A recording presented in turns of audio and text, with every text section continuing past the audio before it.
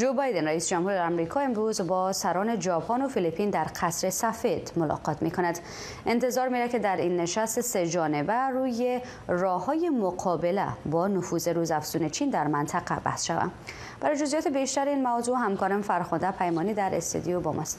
فرخنده کمی بیشتر در مورد نشست سران آمریکا، ژاپن و فیلیپین برای ما بگو.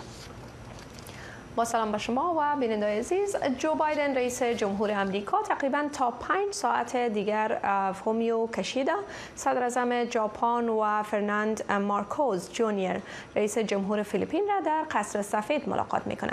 تنش های بین چین و همسایگان این کشور به ویژه متحدین امریکا در منطقه چون فیلیپین محور بحث های سران امریکا ژاپن و فیلیپین خواهد بود. اخیرا فشارهای چین بر فیلیپین در آبهای مورد منازعه بین دو کشور افزایش یافته و به نظر می‌رسه که نشست سه جانبه امروز هم به خاطر رسیدگی به این مسئله برگزار میشه. کشتی های جنگی چین در ماه های اخیر چند بار با پاشیدن آب بر کشتی های فیلیپینی مانع حرکت این کشتی ها در آبهای مورد منازعه شده. خبرگزاری رویترز هم گزارش داده است که بایدن امروز در ملاقات با سران ژاپن و فیلیپین کمک های جدید نظامی را برای فیلیپین اعلام خواهد کرد. و بر تعهد امریکا مبنی بر دفاع از فیلیپین در صورت حمله بر این کشور مجددا تاکید خواهد کرد. اجلاس امروز البته سران سه کشور بعد دنبال دیدار روز قبل جو بایدن رئیس جمهور امریکا با فوم، فومیو کشیدا صدر ژاپن در قصر سفید انجام میشه. در مورد این دیدار بایدن و کشیدا گزارش را آماده کردیم که با هم یک جا می‌بینیم. رئیس جمهور جو بایدن فرش سرخ دیپلماتیک خود را برای فامیو کشیده. صدر اعظم ژاپن هموار کرد و او را یک رهبر رویایی و شجاع در آسیا و فراتر از آن خطاب کرد. زمانی که دو سال پیش روسیه تهاجم وحشیانه خود را به اوکراین آغاز کرد او از محکوم کردن تحریم و منزوی ساختن روسیه و کمک های میلیاردها دلاری به اوکراین دریغ نکرد. دو رهبر در مورد ابتکارات جدید از جمله مأموریت مشترک در ماه، سرمایه گذاری در چپهای نیمهادی و انرژی پاک و تحقیق در مورد محاسبات زرعی و هوش مصنوعی صحبت کردند. اما بیشترین تمرکزشان بر بازدارندگی نظامی و انکشاف همکاری بین دو کشور در دریای جنوب چین و هوا معطوف بود. برای اولین بار ژاپن، ایالات متحده و استرالیا یک شبکه تولید میزایل های هوایی و چارچوب دفاعی را ایجاد خواهند کرد.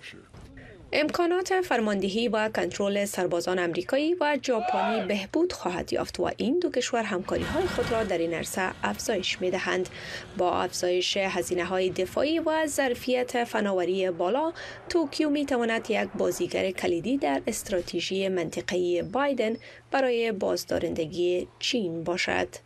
کشیدا گفت که قرار است ژاپن حمایت خود را از شراکت امنیتی سه جانبه میان ایالات متحده استرالیا و بریتانیا آغاز کند. در مورد همکاری مستقیم ژاپن با برنامه شراکت امنیتی امریکا، استرالیا و بریتانیا در حال حاضر هیچ تصمیم قطعی اتخاذ نشده است. ما با ایالات متحده، بریتانیا و استرالیا در چارچوب همکاری های دو جانبه یا چند جانبه به همکاری خود ادامه خواهیم داد. بایدن و کشیدا همراه با فردیناند مارکوز جونیور رئیس جمهور فیلیپین که یکی دیگری از متحدان ایالات متحده می باشد روز پنجشنبه نیز به گفتگوهایشان دوام خواهند داد. با افزایش تنشها در دریای جنوب چین بین بیجینگ و مانیلا این نشست بر روی آزادی دریانوردی متمرکز خواهد بود. ماهونینگ سخنگوی وزارت خارجه چین گفت که اقدامات ایالات متحده باعث ایجاد رویارویی و تنش می شود. هیچ مداخله خارجی بر اراده و عزم برای حفاظت از حاکمیت ارزی و حقوق و منافع دریاییش تاثیر نخواهد داشت. فرخنده پیمانی تلویزیون آشنا صدای امریکا واشنگتن.